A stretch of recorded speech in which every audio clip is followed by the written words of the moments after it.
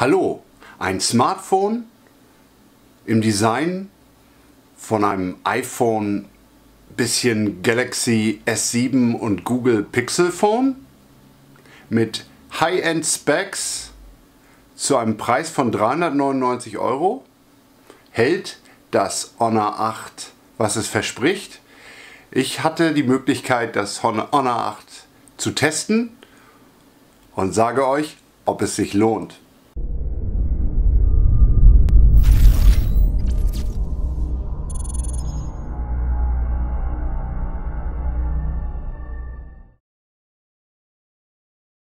Wie schon gesagt, das Honor 8 hat ein Top-Design, ist wirklich wie eine Mischung aus einem iPhone, Samsung Galaxy S7 und dem Pixel Phone von Google.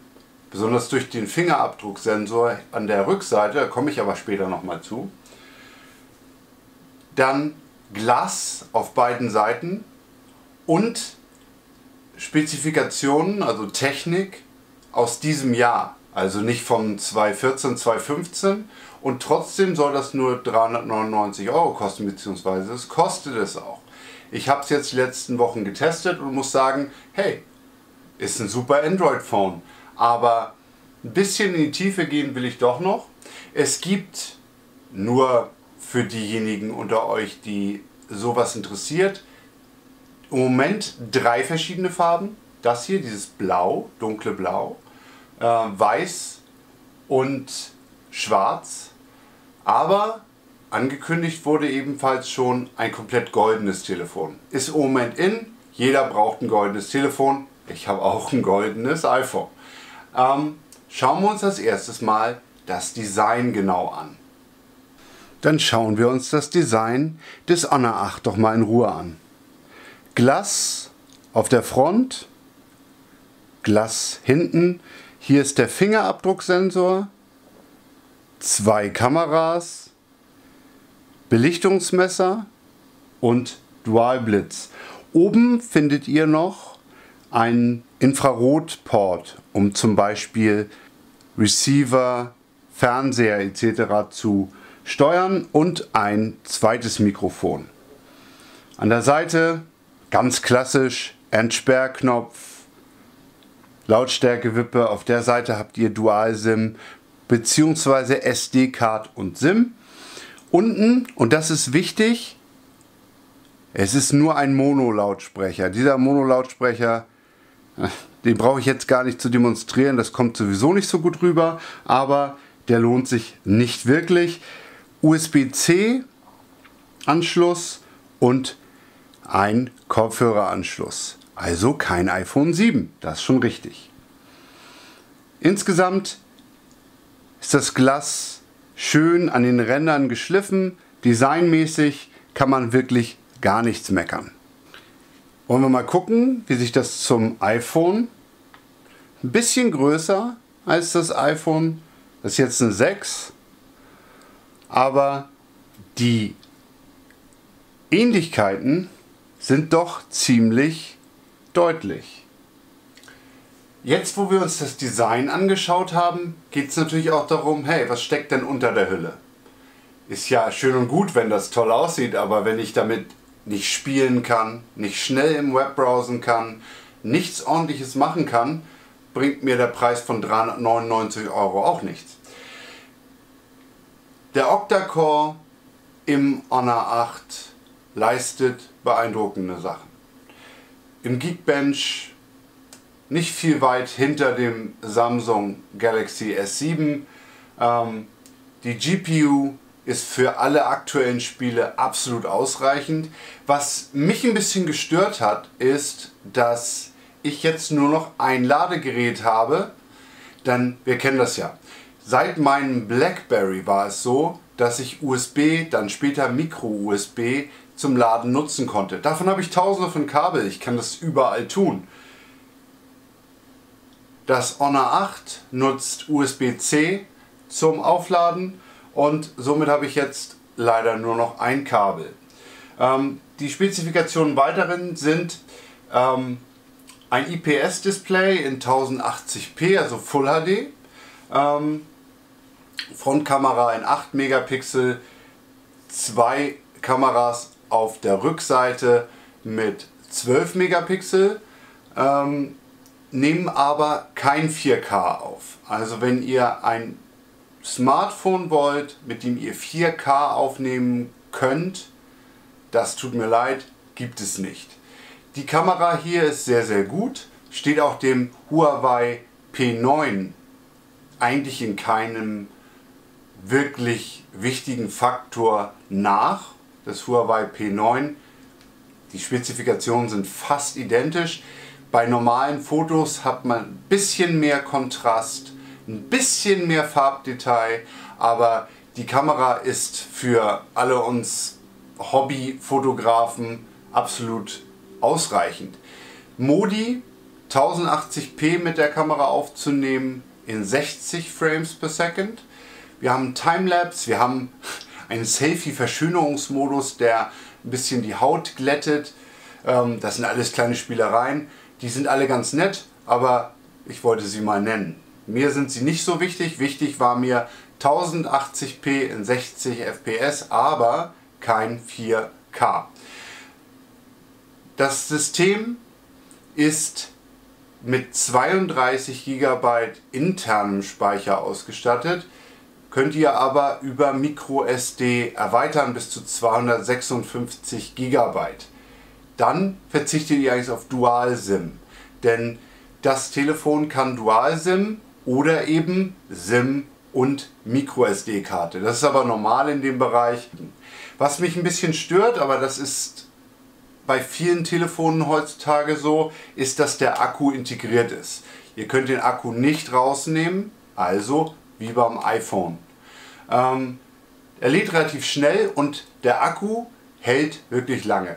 Ich habe das über eine Woche immer im Dauerbetrieb gehalten. Die ersten Tage ging es so um die 24 Stunden, also ungefähr einen Tag. Auch unter Dauerbelastung am Tag, in der Nacht natürlich nicht, da habe ich geschlafen. Ähm, später waren es dann 27 Stunden. Wir müssen nicht darüber diskutieren, dass Pokémon Go natürlich dafür sorgt, dass der Akku sehr viel schneller leer geht. Hä? Welches Telefon kann Pokémon Go unendlich lange powern? Wenn ihr also Pokémon Go spielen wollt, dann wird es halt weniger Laufzeit haben. Akkuleistung ist also gut. Das IPS-Display ist super, super brillant und die Farbwiedergabe ist toll. Ich bin ein Fan von IPS-Displays anstatt AMOLED-Displays, aber das ist persönliche Präferenz. Ich finde, dass die Farben noch besser zu sehen sind. Das Display ist ein IPS-Display in Full HD und reagiert extremst smooth. Wunderbar. Ich mag die Brillanz von IPS-Displays sehr gerne. Jetzt wollen wir noch mal gucken. Einfach mal ein YouTube-Video laufen lassen.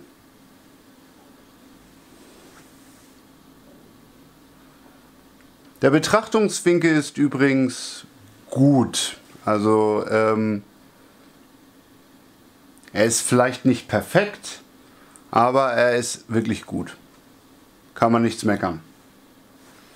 Optionen gibt es genug.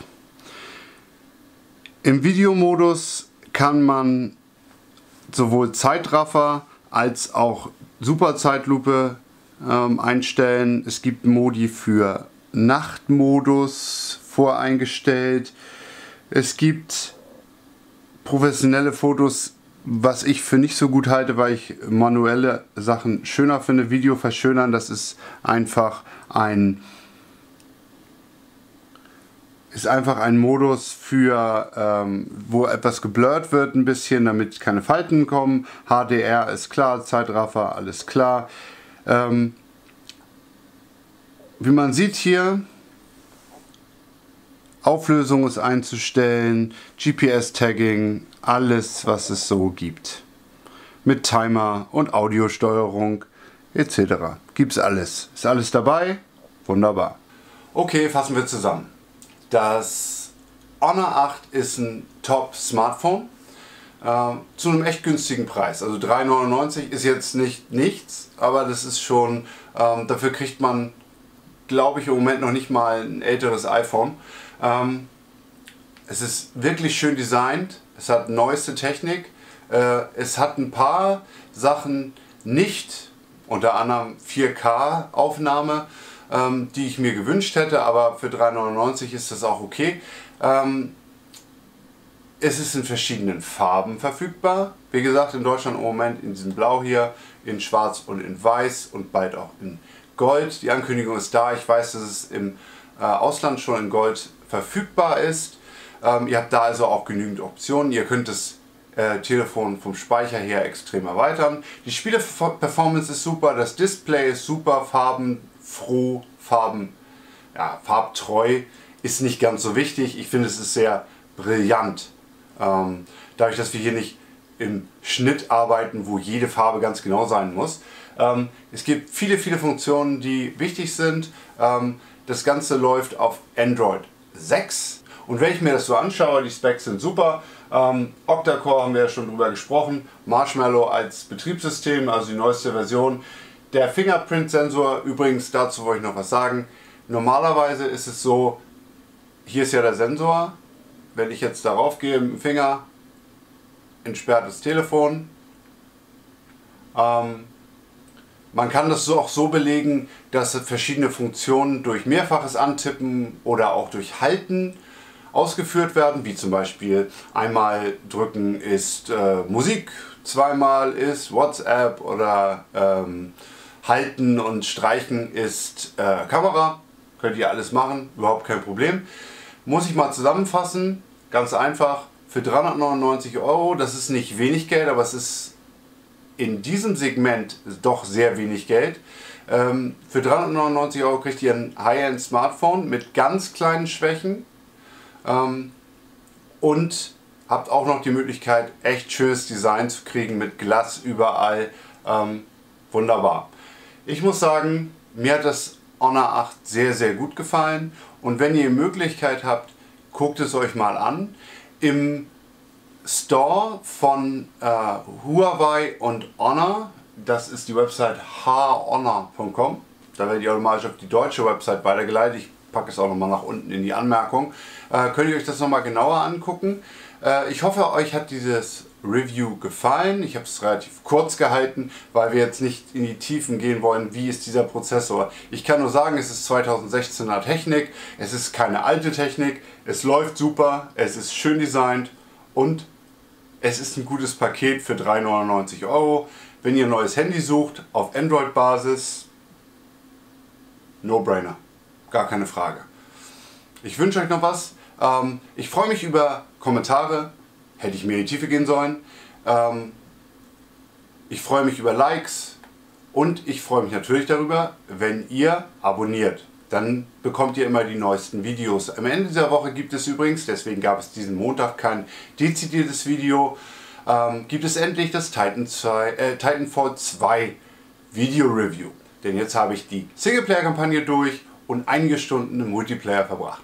Ich wünsche euch noch einen schönen Tag und freue mich, euch bald mal wiederzusehen bei mir. Bis dann!